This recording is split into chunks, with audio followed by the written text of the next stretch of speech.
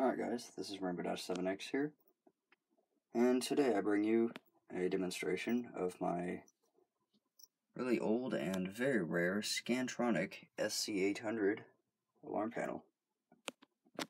This panel is a fully operational panel, I mean except for the fact that this little door is broken on here.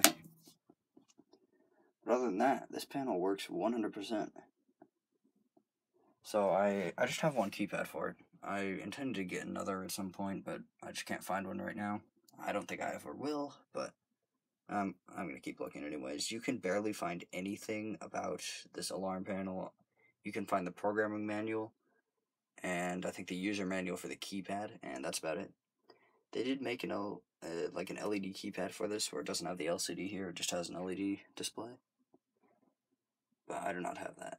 This is the SK1L keypad. It is an LCD alphanumeric keypad. And currently connected to the system, I just have this one motion sensor over here. I don't really know the model of it, it's just kind of a generic one that I got a long time ago. So here's the regular display on it. I'll press the keys here, it lights up. We have, it is the 4th of July. Happy 4th to all of you guys. And yes, it is actually 1.02 a.m. as well. So, it says ready right there, dot, ready, and then two more dots. That is the regular display. So if I fall at this point, if the sensor will work, there we go. Zone 1 violated. It's called bedroom door because I didn't bother to change the point name. Yeah, it refers to them as violated rather than faulted. And this key, this alarm panel also does support key switch arming, so I do have a key switch set up right there. Let's go through some basic functions of it. I don't have all the functions down, but I've got like basic arming and disarming and uh, a few others. So let me show you a basic arming of the system via the keypad. So you enter your code, press pound. You have your exit delay. It's set to 10 seconds.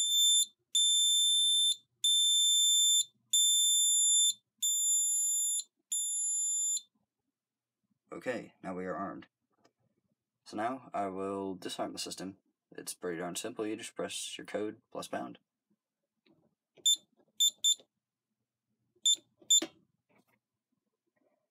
Yep, there we go. We are disarmed. Now, to arm and disarm via the key switch, key switch is kind of left over from really old alarm panels. You used to just have a key switch outside and you would turn the key to turn the alarm panel on and you'd turn it back, turn it off. This essentially does support it, but it has to be a momentary key switch. So I'm pretty much going to turn it and then turn it back and it'll arm. And then I'll do it again and it'll disarm. So here goes arming via key switch.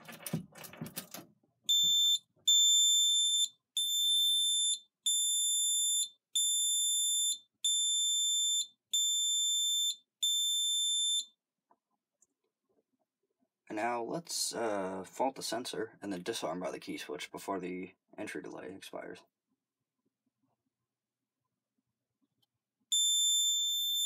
So there is your entry delay sound, and there's disarmed by the key switch. So the entry delay sound is solid. Now I'm going to show it going into alarm. There's no siren hooked up because it is 1 a.m. as you can see by the display. So I'm going to arm to instant mode. So to do that, you enter your code plus star zero pound.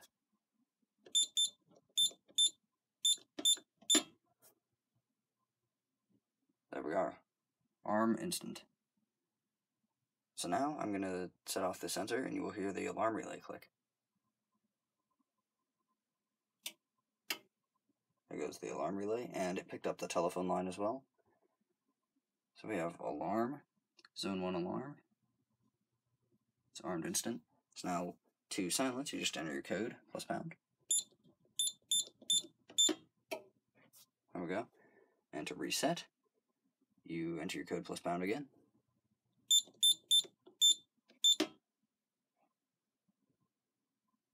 Go. We reset.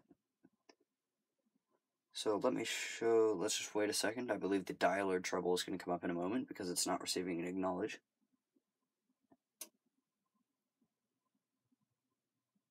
Maybe not. Alright then, I thought that it still had that enabled. Oh wait, no, I disabled the dialer, that's what it is. Okay, now this alarm panel is a little bit different than regular ones. It's got two outputs. It's got your siren output, like it's got two bell outputs. It's got the like burglary bell output and then the fire bell output. The fire bell output takes priority, but the burglary bell output does not have to be a burglary bell output. You can assign it to various things. So mine is set on a timer. It turns on uh, a little bit before midnight and then turns back off at midnight. That's completely unrelated, but I will show you. You can toggle it from the keypad. The commands on this panel are really hard to do. So it is your code, then star 1 and 2 at the same time, 4, 2, pound. So let's do that. Star 1 and 2, 4, 2, oh, wait a moment. Alright. My panel line went down for a second. Not sure why. That's probably a loose connection. Alright, let's try that again.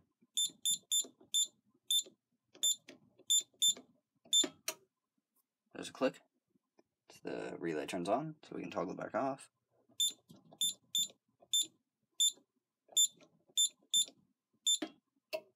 And there's the relay toggle off.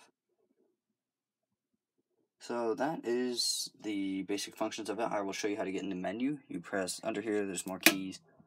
So there's uh, left, right, up, and down. So to get into the user menu, you enter your code, and then you press the up key.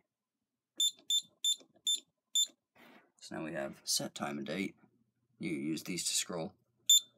We have a sent entrance delay. You set the exit delay. You can edit your user codes as edit the zone names. You can call the central station. You can answer a call from the central station. And back to set time and date. So press that. For star, star is pretty much your exit key, and pound is pretty much your save key. Now let's get into the installer menu. It is star and zero plus your installer code plus up. I'm not going to show the installer code. I don't like showing default codes on panels, on videos. Okay, so now we have set time and date again. Set entrance delay, set exit delay, edit the user codes, edit the zone names, call the station, answer the call. Programming, that's how you get into programming mode. I'll show you that in a moment. You can view the history, like the event log of the panel. You can send and you can receive. I believe that is for uploading and downloading with the ScanPro downloader software, which I do not have and I cannot find. If you find that somewhere, please let me know. It'll make this a heck of a lot easier to program. You can copy uh, the EPROMs in the panel. And back to set time and date. So let's show programming.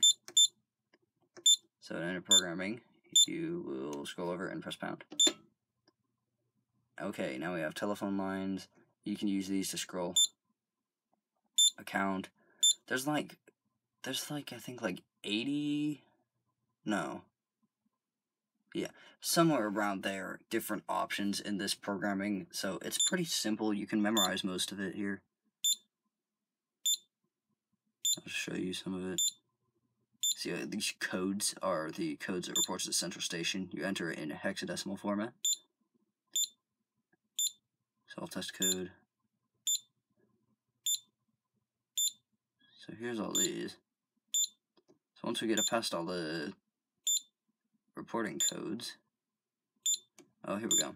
Open and close and entry and exit delay uh, selections. Or no, that's just the point types. Then zone code, zones that dial out with a delay.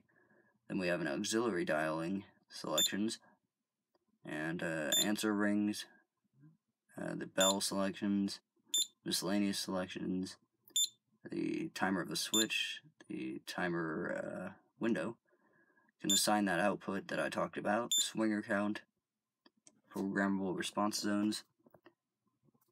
So let's keep going. Response time of zones, that is programmable. Silence zones, so I'll show you in a moment. 24 hour audible zones, fire zones, burglary zones, entry and exit delay zones, and zones entry exit delay group. So I will show you something. It's super easy to program this. Entry and exit delay zones. You press pound to enter it. and you see 1 is my only zone program for entry and exit delay. This is an 8 zone panel, so it makes it really easy to do this. To select a zone, you press its number. So now 1 and 2 are there. I can press 8. Now 1, 2, and 8. I can remove 2 just by pressing it again. That's how easy it is. Now to save it, you press pound, and you see it underlines under the 1, then you can press star to exit. If you don't do that, it will for, it will completely forget that, and it is a hard thing to find a little error in the programming. So always save your stuff. Entrance delay, exit delay. Now that is times by 10 seconds, so if I wanted a 10 second exit, uh, exit delay, I'd just put a 1 in there. I'm not going to say what all these are, I'm just kind of scroll through it so you can see.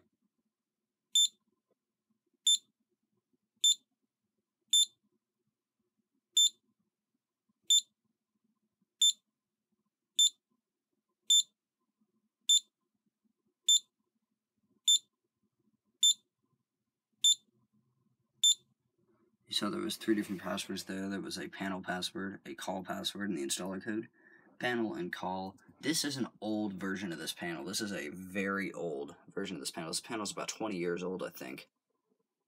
I think it's even older than that, but mine's got the older microcontroller installed in it, so it doesn't have all the features the new one does. Sure has a lot, but some of these passwords aren't used anymore, so the call password and the panel password is kind of like the RAM pass and lockout code or data lock code on Radionics panels. It's pretty much what let you program it, and the installer code is the installer code. Let's keep going. User codes, user attributes, and zones that users are assigned to. And we go back to number one, telephone. So we got, yeah, 68 uh, programming options in this edition of this panel. So now to exit, you just press star, and there we are. And now it's going to try to dial out. You heard that click. So it's trying to dial out and report that it's just got programmed. So if there were a trouble on this panel, uh, I'm not going to cause a trouble because it's kind of inconvenient. I will show you the panel board in a second, but how to silence it is you enter your code plus and then star 9 pound. That's not going to do anything right now because there is no troubles on the panel. So now, let's move this. I'm going to show you the inside of this panel. Uh, there's a lot of wiring mess in here. But that is what the board looks like for a very old Scantronic panel. There's a very large battery in there too, some wire nuts. But that's what the board looks like. Got your two auxiliary relays, some fuses. It's very dark in here. And there's all your zones and some other communication contacts, and all over there are your power. And I must say that enclosure is very well built compared to the newer ones. So that is that is the Scantronic SC800 panel. And I'm just going to show a little sneak peek of the other system I'm setting up. This will be very short.